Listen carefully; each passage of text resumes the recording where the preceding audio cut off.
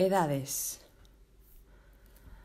Ahora visitaremos tres cuadros en donde el pintor habla de los años de vida de los personajes.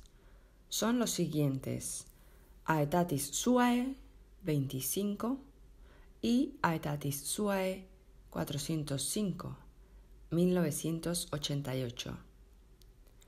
Aetatis eh, Suae 1551 de 1996. Todos ellos haciendo referencia, claro está, a los retratos pintados por Hans Holbein. El joven, Hans Holbein el joven, durante la primera mitad del siglo XVI. Aetadi Suae 25 es el primero de ellos, y en él se aprende de este maestro renacentista haciendo un retrato en donde figura el rótulo dorado en el fondo que da título a la obra. Lo singular, como siempre en los cuadros de nuestro pintor, es que la retratada es una de esas muchachas arquetipo de su imaginación. Este, este primer cuadro viene a ser un estudio, y lo importante es que dará pie a los otros dos aetatis suae. Estos últimos, por su parte, evidenciarán con más rotundidad el inmanente carácter humanista, sugerente y misterioso del pintor aragonés. Aetatis Suae 405, 1988.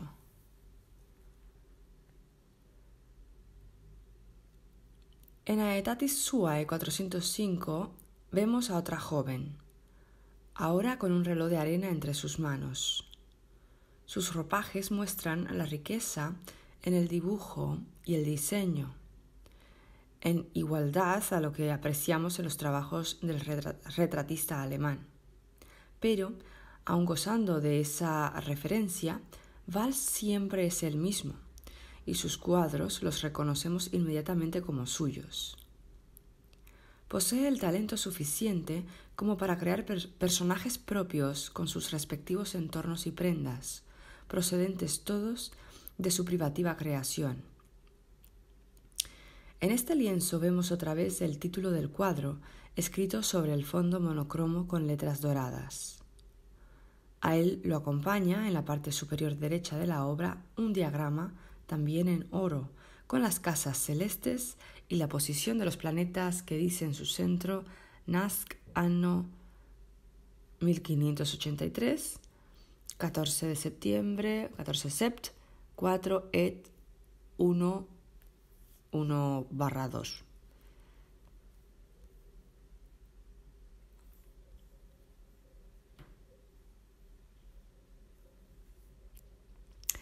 Esa pista nos orienta eh, a los orígenes del uso del calendario gregoriano.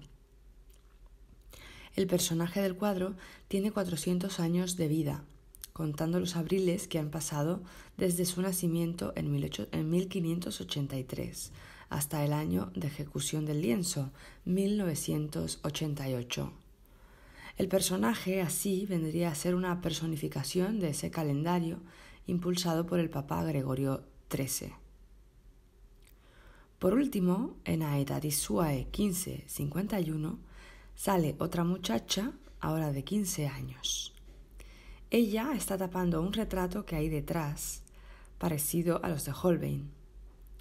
En dicho retrato del fondo vemos el rótulo en oro Aetatis Suae 51, en donde se ve a un hombre que contaba esa edad cuando fue pintado. La protagonista del cuadro tiene un papel pegado a su pecho desnudo con gotas de lacre rojo. En este papel leemos Anno ni 1996, Aetatis Suae 15, su edad en el año en que se ejecutó la obra. Aquí intuimos opuestos como mujer-hombre, joven-viejo, realidad-imagen.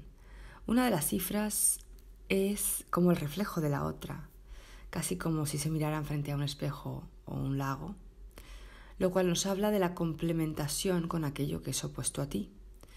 Te conoces a través de tu reflejo y es en la confrontación con tu antagónico donde te encuentras a ti mismo. Revelaciones. El séptimo sello. 1997.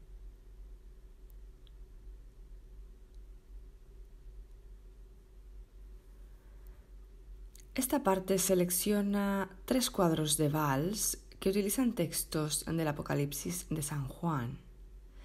En el séptimo sello, 1997, el pintor sitúa a una mujer asustada, desnuda y recogida en la esquina de una construcción algo descuidada, de paredes y suelos sucios, con filtraciones de agua y muros rugosos. El fragmento que vemos de suelo está escrito todo él con textos del capítulo de la apertura del eh, séptimo sello, lo cual nos indica que es el fin del propio fin de nuestro planeta, de acuerdo con las profecías del evangelista. Terribles plagas azotarán la tierra, las aguas serán amargas, un monstruo de siete cabezas vendrá a devorarnos. Ya no hay salvación posible. La chica intenta eh, refugiarse en esa esquina en su propio cuerpo, pero está desnuda e indefensa. Revelatio 2004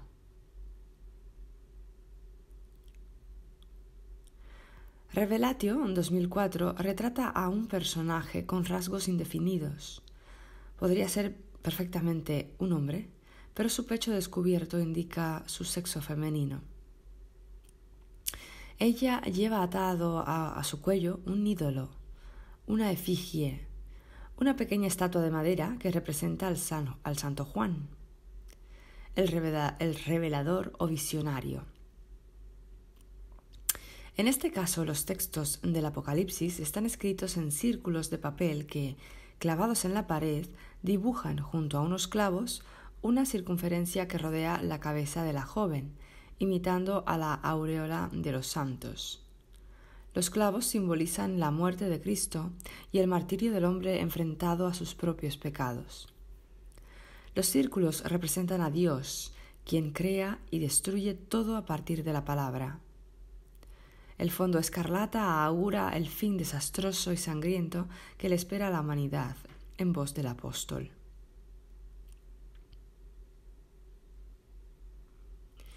El último cuadro de esta sección, Incisio, 2004, eh, también tiene círculos de papel con palabras del libro que encierra la Biblia, que cierra la Biblia. En este caso tenemos tres círculos y además una página entera con textos del Apocalipsis. Es, una, es un reflexionar, un conflicto que tiene el hombre, una lucha constante entre lo que debe y lo que desea, Valls recurre a estos pasajes por toda la simbología que encierran y por la reacción que suscita en la humanidad, aunque a veces sea de un modo inconsciente. Habla de esa situación de la que nadie se salva, del momento en que dudamos de todo porque nada sabemos con certeza. Tanto ciencia como religión son creencia. El científico cree saber algo y hasta demuestra saberlo pero un altísimo porcentaje de sus descubrimientos parte inexorablemente de su imaginación y de la fe en sí mismo. Todo lo que tenemos es fe, pero llegados a este punto, de nada nos servirá.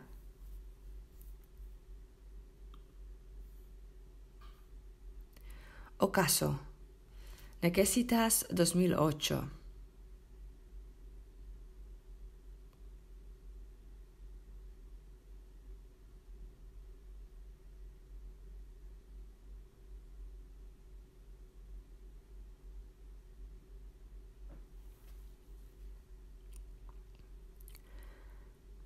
Poco de abandonar, el infierno, nos centramos en una tabla cruciforme que recoge toda la esencia de lo hasta ahora visto. Textos, música, opuestos amalgamados, alquimia, simbolismo. Necesitas 2008 es el título y está toda ella inspirada en la ópera compuesta por Richard Wagner en la segunda mitad del siglo XIX, La Valquiria, primera jornada y segunda ópera de la tetralogía titulada El Anillo del Nibelungo. Dino Valls, haciendo gala de su melomanía, disecciona esta composición del músico alemán y a partir de ella saca su propia obra maestra. Valls hace un estudio psicológico junguiano de esta creación wagneriana, teniendo como consecuencia un replanteamiento y toma directa de las dificultades y luchas entre los personajes de la ópera. El tronco de esta composición se basa, según Valls, en el conflicto interior del ser humano en el que la pulsión de los opuestos por unirse, por integrar el inconsciente con el consciente, se manifiesta en una dualidad constante y tormentosa. El formato de la obra se asemeja a los crucifijos toscanos del, Trecento y es a la vez la representación de la espada rota que aparece en la ópera, bautizada como Notung, que significa hija de la necesidad. De ahí el título del cuadro Necesitas. La espada aparece como símbolo de la evolución espiritual y del poder creador de la palabra. Verbo logos. Sword, word en inglés. Schwert, word en alemán me asegura el pintor. La distribución de los elementos del cuadro tampoco surge del azar. En la parte superior central del mismo brilla el pan de oro inmaculado que evoca el mundo espiritual de los dioses, el aire. A nuestra izquierda, donde tenemos el perfil de un joven que Valls nos descubrirá como el personaje de Sigmund, corresponde el elemento tierra, encarnado en ese color rojo intenso del fondo que Valls pinta sobre pan de oro, símbolo del sol fecundador. A la derecha nos queda el perfil femenino de Siglinde, la hermana melliza, a la vez que amante de Sigmund. Su fondo azul sobre pan de plata simboliza el agua, lo femenino que engendra vida en su interior. Por último, la joven que acompaña al dios Wotan en el centro de la composición, su hija, la valquiria Brunilde, está ahora semi-hundida en la predela. Esta zona de la tabla representa el fuego, mezcla del poder divino y del poder del hombre. Valls entiende el eje vertical como escenario del incesto simbólico padre-hija, Wotan Brunilde, proyectado. A su vez, en el eje horizontal, plano humano, incesto explícito entre los mellizos Sigmund Siglinde, hermanastros de Brunilde. Valls sigue hablando de su obra, directamente conectada con los textos de Wagner. En el panel central, Wotan aparece representado por una figura muy humana, alejado de la divinidad, sujeto de pies y manos por sus propios pactos en el suelo de un escenario teatral y prosigue. Brunilde es el ánima del inconsciente de la divinidad masculina que se enfrenta a la persona, la imagen exterior que Wotan tiene que representar. Por lo tanto, el Dios encarna nuestros propios conflictos internos que derivan de la lucha entre la materia, manifestada fuera de nosotros, con el espíritu, Brunilde, que sabemos oculto en nuestro interior. Es Brunilde el ánima inconsciente de Wotan que anticipa sus ideas, deseos y resoluciones sin que sea consciente, dice el pintor. Y además extrae entre textos del libreto de la ópera Solo me aconsejo a mí mismo, conmigo hablo, cuando hablo contigo. Wotan a Brunilde, acto segundo, escena segunda. Y nadie como ella, Brunilde, conocía mi más íntimo pensamiento. Nadie mejor que ella conocía la fuente de mi voluntad. Era el propio seno creador de mis deseos, Wotan en la escena segunda del acto tercero. En la parte inferior del cuadro, donde Brunilde está dormida debido a su desconexión con lo divino, vemos una mano trazando un círculo con polvo de azufre. Esta mano, nos indica el pintor, es de Loge.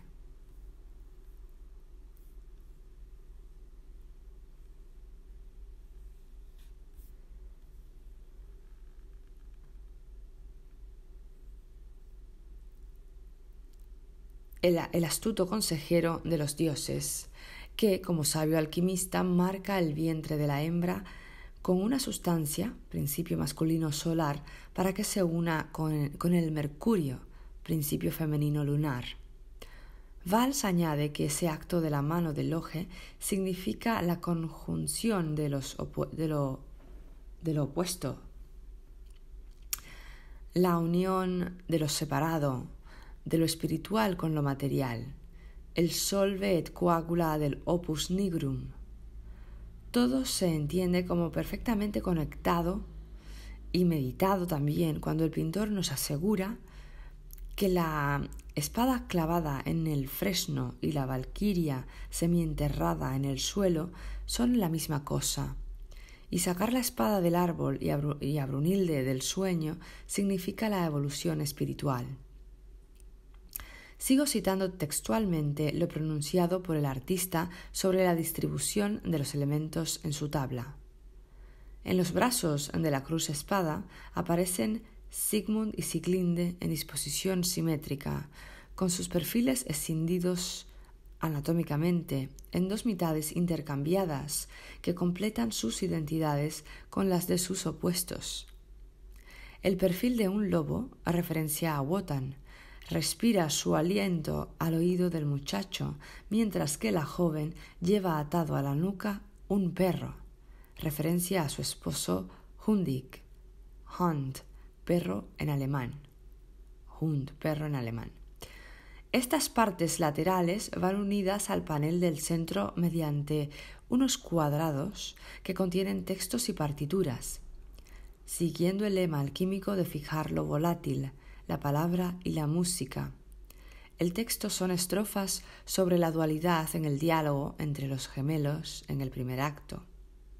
El otro cuadrado tiene un fragmento de la partitura de la escena final en la que aparecen, como anticipo de la siguiente jornada del anillo, y poniendo en música el leitmotiv de Siegfried. Las últimas palabras de Wotan, quien tema la punta de mi lanza jamás atravesará este fuego porque sólo el sin miedo podrá forjar la espada y atravesar el fuego. Siegfried, el hijo de Siglinde, con su hermano. Vals nos da la espada rota, y sólo el sin miedo podrá forjarla.